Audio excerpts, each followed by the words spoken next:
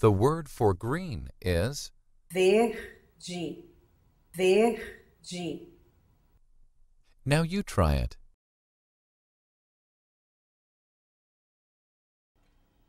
Verde,